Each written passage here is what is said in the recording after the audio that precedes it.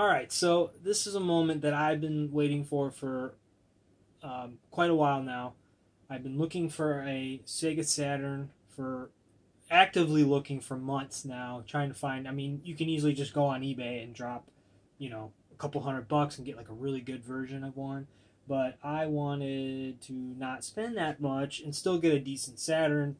And so finally, uh, a few days ago, I found one on eBay. eBay was running a ridiculous 20% off site wide uh, promotion, like 20% off pretty much everything, except for like very rare exceptions like gold and stuff like that. But, anyways, so I managed to pick up a Saturn uh, for a really good price. Um, and so now I just got it in the mail, and I was going to share my experience with you. And uh, maybe we'll do some, we'll have some fun with it. So, anyways, uh, let's get to the unboxerino. All right, so here it is. It's a beautiful Priority Mail Postal Service box. Uh, let's get into it. Got my this is the best thing I got from working at Amazon was this thing. It's really good for opening boxes and stuff. It's got this little metal nub here that like allows you to pierce the tape without like getting into the box and cutting whatever's inside. And then you can yeah, it's pretty cool. Now, unfortunately, I didn't get one in its like original box. This one's pretty much just the console with the cables and a controller and a game. Um, but it didn't have the box, which is fine. I really wanted the box, but looking back, look at the looking at the boxes for this model, I wasn't too impressed with the design of it, anyway. So, all right, here we go. Newspaper packing. I believe this shipped from Colorado, believe it or not. Anyways, oh, here's the game. Looks like so I got this from Retro Games Japan, 7% off your order if you go to that website. So there you go. No, I'm not affiliated with these guys or anything like that. Yeah, right. I wish I was affiliated with somebody. This looks like the controller. Now, the keen eye will spot already that this is not a American or North American Sega Saturn. Not bad, pretty decently wrapped. Here's the bad boy right here. Oh, I can't wait. All right, let me clean this off. Nicely done, you know, like meticulously packaged. That's a good thing. A lot of times I'll order stuff and it's just like, oh, Amazon's the worst. They are so bad at packaging stuff.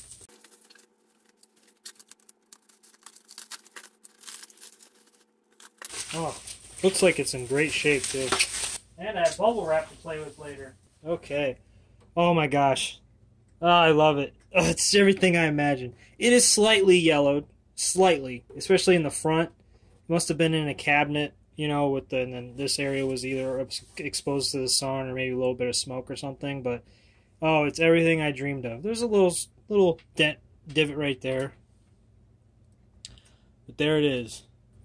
It's in really good shape. So I, I got this for eighty dollars. Essentially, it was hundred dollars with the game, a controller, the AV cord, and um, power cord. Looks like uh, repro. Yeah, this looks like a repro cable, uh, which is fine. I ended up ordering an S video cable anyways for this, um, and power cable Feels pretty good. It's a little yellowed, but really, I mean, I'm not complaining. Thing's awesome. I love the color scheme. Pretty good shape, all considering. And then the game is just, uh, obviously it's Japanese. Puzzle Bobble 2X. Yeah, the reason I picked it really was basic, basically the condition of the console is what made me pick this specific package because they had a lot of these um, like setups like console controller hookups with the game for anywhere between 70 to 120 dollars and I chose this one because of the price was decent and the con- the condition was good ish. You know, I give it. I mean, I give it a B, B plus maybe on condition, and the game. I think my wife would actually like this game because she likes puzzle, like uh, she likes the bubble blast type games or whatever. So, you know, she can play it. We can play it together. Maybe if I get another controller, but so there's that, and also can't pick up a Saturn without picking up one of these bad boys right here. This is what's going to open it up for uh, for pretty much. I own a lot of legitimate copies of Sega Saturn games. It's just that they are I lost them. They're somewhere in storage somewhere. so I have to uh, use my backups. Unfortunately, you know that, and I don't want to. You know, I don't want to scratch all the dis- discs that I own. But maybe one day I'll show you guys my uh, full 100% collection of Sega Saturn games that I own.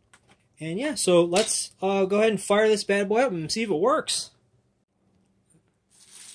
They also sent me this cat. I don't know if it was like some kind of promotion they were doing, but um, I think I'm going to send it back though.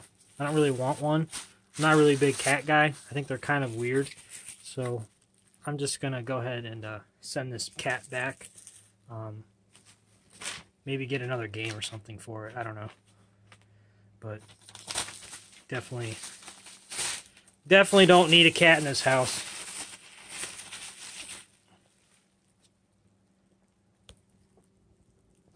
Huh. Alright, so here we go. Let's get this bad boy fired up. Make sure it works properly before I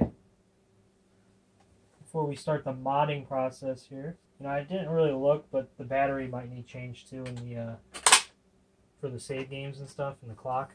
Gold plated connector. I don't know if that means anything. Okay, get the controller hooked up. Like I said, nicely packaged from Retro Games. There is a lot of options out there for Sega Saturn games or for Sega Saturn consoles. And this one I like because they're local. Well, they're they're in America, so and like the shipping was ridiculously fast. I ordered it on Saturday, and I got it on Monday. Free shipping, ridiculous. Like it was awesome. Sega. All right, right up front. You gotta love these front connectors. I mean, TVs nowadays, everything's like got to be so sleek. Like, there's no way they put an HDMI in the front of a TV. I mean, they might, but it's probably like the cheap, like Emerson TVs or whatever. Found the pluggy Reno.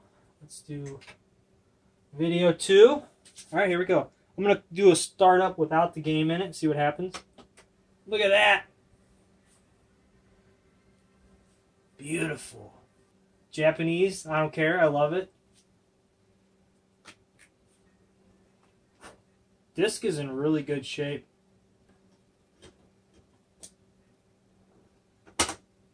All right. Okay, I think we're good. This game is very precise. Oh yeah, here we go, baby. Suck it, pink dude. Yeah, so far so good. It's working pretty good though.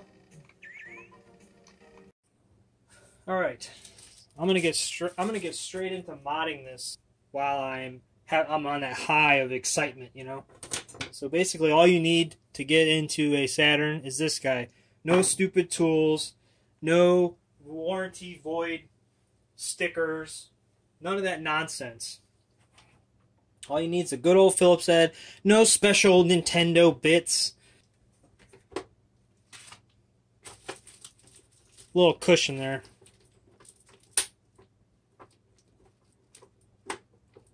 Judging by the sound of that first initial crack, that's not really a crack, it's like a like a unsealing. I don't know if this has ever been opened. Probably gonna play some kind of cool trip hop, chill hop music while I do this and fast forward it slightly. Like all the other YouTubers do. What is what does chill trip hop, chill hop sound like? It usually has some kind of like high pitched voice in the background like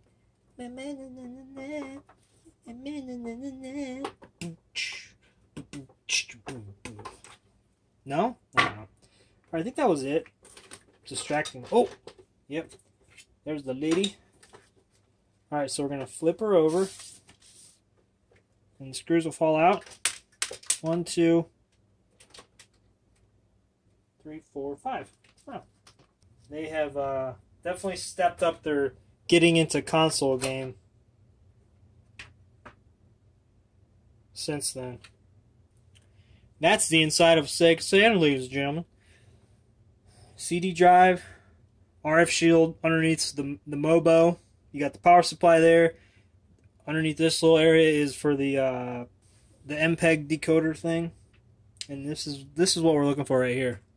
It detects if the door's open on the CD, um, the CD tray, or the CD door. So I, I bought this. Um, I this is a special Sega mod tape.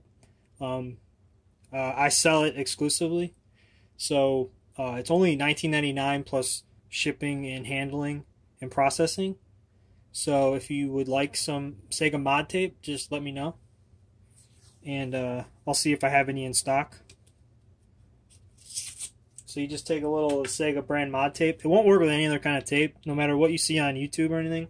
It's specifically for um, you have to specifically use this kind of tape or else it won't work.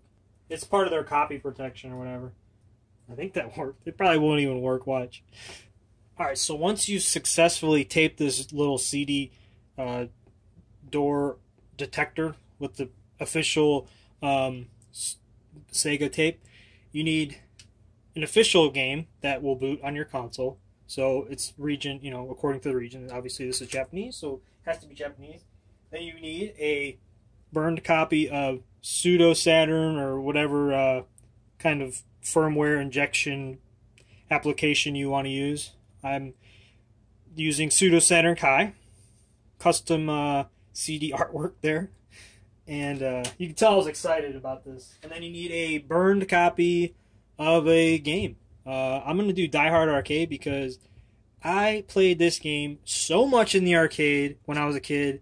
I literally spent more than probably what you could have bought the game for new. I probably spent way more than 50 or 60 bucks in the arcade on that game, so I legitimately feel like I bought it, you know. Um, and also because I, uh, you know, I own every single Sega Saturn game that I will ever um, put on a backup disc. It's, they're backups, you know. That's all they are. You need one of these guys right here. Do a quick unboxing of this very 90s art. Uh, man, they sell enough of these things. I you think they would like make a cool artwork for this, but this is so bad. Like this looks like my first graphic design job. It's so terrible. And this probably wasn't even made in the 90s. This was probably this version was probably made sometime in the 2000s and it just looks so bad. But anyways, so we're now we're going to get to the swap Alright, so first I'm going to do a quick test to make sure the console actually powers on.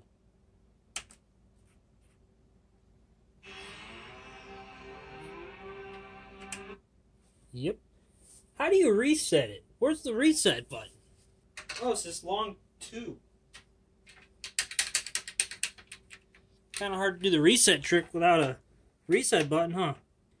You just need something that size to get down in that and press that switch there. Let me see what I got. Preferably don't use something metal, uh, just because. I'll make sure it works.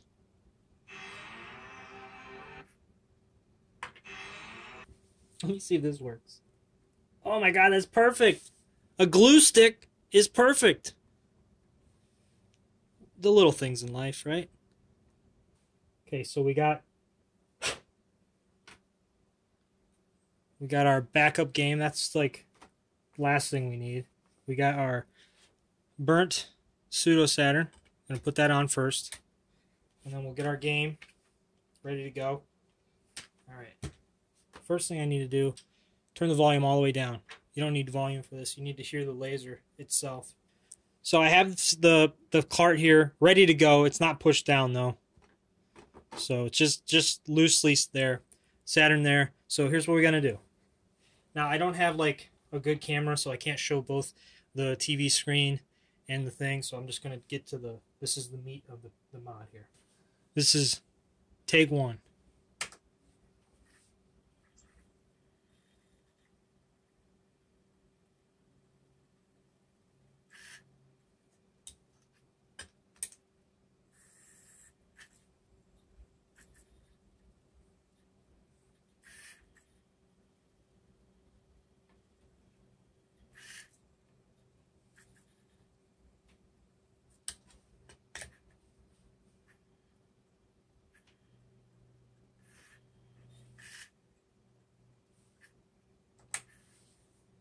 All right, that was a fail. Take two. Nope, fail.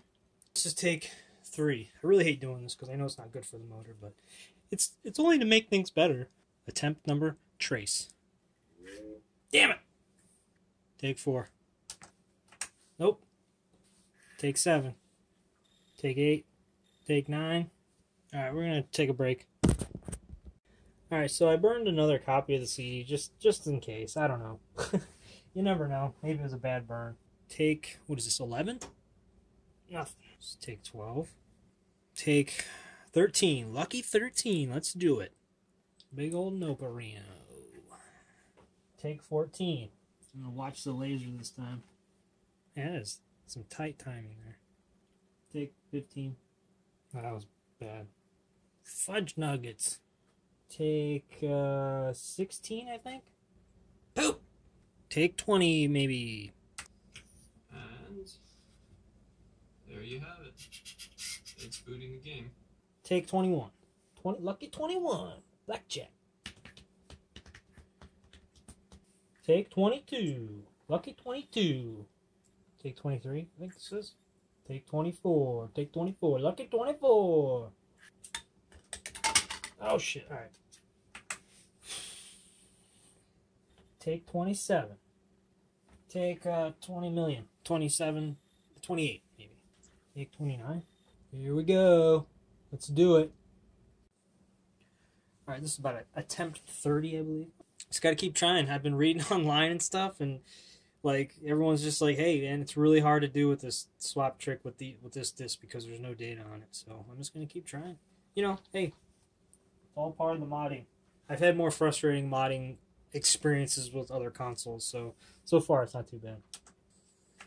Nope. Nope. Man. Attempt number way a lot. Man, I hope I don't blow my laser doing this. Blow my laser. It sounds like a like a robot, like at a robot strip club. I hope I don't blow my laser. I went out and bought new CDs from Staples, thinking maybe it was the CDs. Okay, well, these CDs are bootleg. It's one of those days, man. You know, I was watching people do this online on tutorials, and they're like, "Oh, first try." Oh, I'm calling BS on that. Now, when I get it, I'm gonna say I got first try, but it's not, and I have video evidence of that that you'll never see. You know, this feels like this feels like when um I used to skateboard when I was like a teenager, and I wasn't ever really good. I was actually pretty good, but my friends that all skateboard with me, they got better way faster than I did. So I'm still trying to learn how to ollie, and they're like learning how to kickflip. And watching them like master the ollie and then move on to different tricks, and I'm sitting there still trying to learn how to ollie. That's what I feel like right now. I'm trying to do this stupid trick, the swap trick, and everyone's playing their backups. I know my cat's been here because there's a piece of litter right here. Checking this format. Checking it twice. Gonna find out which disc is naughty or nice. This disc is naughty. Oh yeah, alright. Unsuitable. Just like me. for this for this trick I evidently. Oh this is a fun game. It's called trying to get your Saturn to boot a bootleg disc. And I'm losing. I'm doing something wrong, man. Obviously. I almost want to just buy one of those mod chips. Oh my god. this is so frustrating, dude. Oh, the inside's really clean. I mean, there's just a little bit of dust bunnies here, you know, but not bad. I'm keeping the dust because it's from Japan. Oh boy. Here we go. First try, baby. I'm going to try this method I saw online. So you let the Saturn boot and you let it run on the bootleg disc until it gets to like CD unreadable. So you're going to wait for that. Takes a couple seconds because it's all like, oh, is this a real CD? What's going on? Why would someone want to pirate our beautiful software? Or Sega. We're never going to go out of business. So we're in the checking disc format screen on the beautiful actually, this is a really cool like little start or what do you call it? Like main menu thing for a game console. So you want to let it do its thing, read it, and then it's eventually going to say, "Hey, this CD isn't for this console. Get out of here. Go try that with the Dreamcast." And then you put your legitimate game in here, like so, beautifully. Then you hit reset, and then once you do, you listen for three movements of the laser, and then you wait a second, and you put the disc in.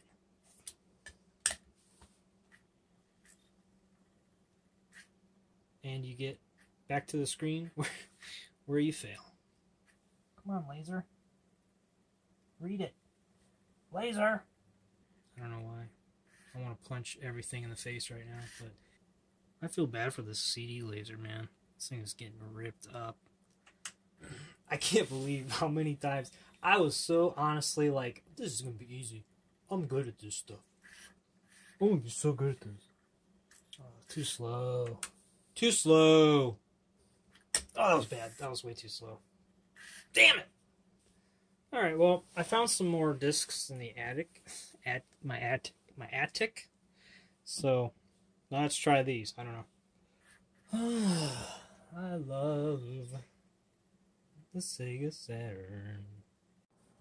Alright, so can't really see too well. There's pretty big glare on the TV, but I made it finally, dude. I was about to kill myself. Hit R. Here we go. Firmware flasher.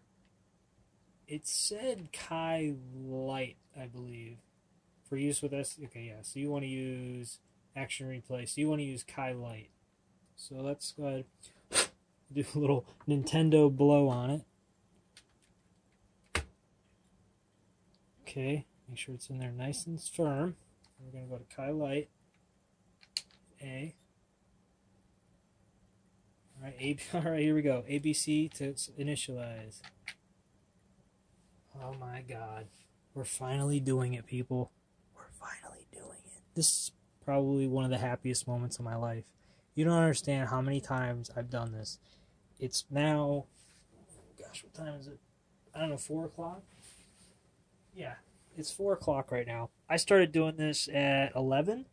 I actually took a lunch break because uh, I was getting so frustrated. I went and got some lunch and I came back and I tried it again for another couple hours. I've tried so many different weird things. Like I bought a new stack of discs. I went up in my attic and I found another old stack of discs. Um, I got my old laptop out, tried that burner, everything, and finally it worked. And it worked on like what the second disc I burnt with my old stack of discs. So it wasn't the discs, it was the operator. It was me. Here we go, baby. Here we go. I was waiting too long to swap the discs. That's what it was. I got frustrated, so I tried a import game because this is an import console. So I just try a game, right? Because I know you can get the swap trick to work with games. You do this, you don't have to keep doing the swap trick.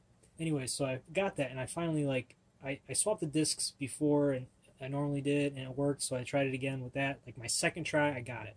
I do it based on based on the visual cue, not the audi- audible cue. I don't know different for everybody. Right verification success. What what? All right, hit start to exit. So here is a copy of. Oh wait, no, we're gonna try.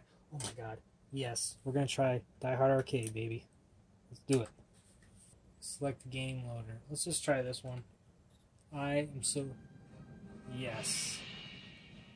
I am so happy right now. Dude, I played this game so much when I was a kid. I'd go to the mall just to play this game give me like ten. I got like a roll of quarters, and I would just play this game nonstop until I ran out of quarters, and it was like seventy five cents a play. So, yes, I remember this classic beat 'em up. Life up, yes. No more quarters. Oh, I remember everything about this game. This is so fun. Whoa, she's tricky. You gotta watch out for her. Okay, yeah, I guess I can't carry. Okay, this is what's got me. Quick time event. This is the first game I played with quick time events. I don't know what button that is. I guess that's uh B. I guess. So if you fail the quick time event, you have to like fight more people. I'm actually doing way better than I used to when I was a kid. Alright, so I got her all back together. She's looking great. Took a couple Q-tips, uh, gently went around some of the internals, and just kind of got a little bit of the this fresh Japanese dust. Oh yeah. Anyways, um, I also picked this up. Um, I'm hoping it'll help improve the picture quality a little bit. I played a couple games, um, and they didn't come through too well over just regular comp composite, so hoping this S video will help. But I got this on Amazon. Um, this was like really the only option. There's probably better ones out there, but they're probably really expensive, like official brand or whatever. But uh, yeah, so that was it, man. I tell you what, it was definitely harder than I thought.